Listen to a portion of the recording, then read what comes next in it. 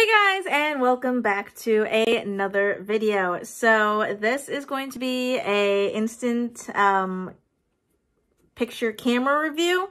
I've never owned anything like this before. The only other camera that I used um, before was like a like a disposable, like the stuff that you get at Meijer for like $2. Um, but this is like a more expensive version of that. Super cool. So it comes with your little directions. It's the Lomo Instant Automat. Yeah.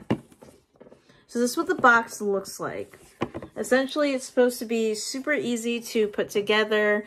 It comes with two batteries, and then it comes with um, film, but you can also get the film separate. This is what the camera looks like.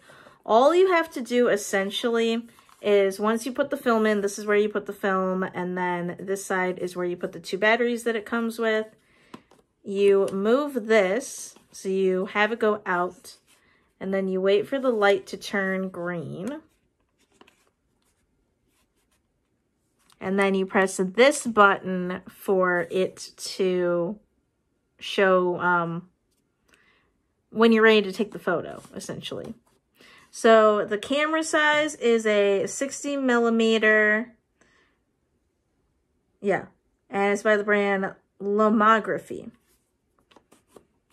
So if you're into taking Polaroids, then this is definitely the camera that I recommend. No, I'm not being paid to talk about this. I wish. But I will show you guys some other items that go along with it. So it comes with this so that you can keep the front of it like protected. It also has, um, this was a separate that I got, but this is the Fujifilm Instax Mini Black. So it comes with 10 sheets. So when you use these, definitely be careful um, on what like photos that you take because you only get so many photos. So yeah, and then this, which is cool, also came with it. So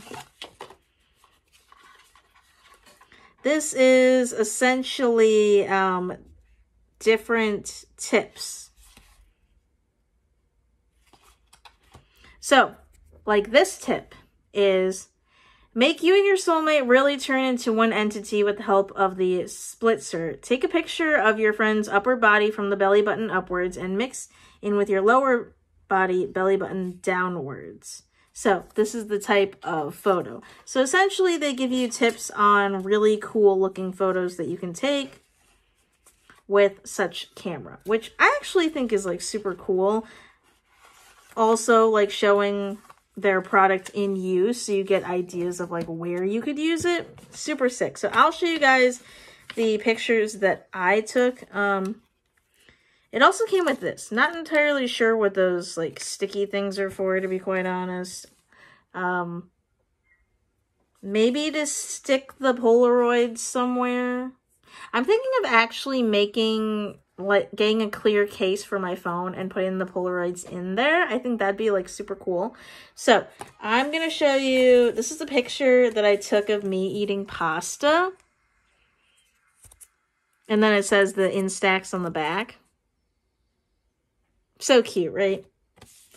Um, this is a picture that I took. I was like trying to figure out how to use the camera, so it's like not that good.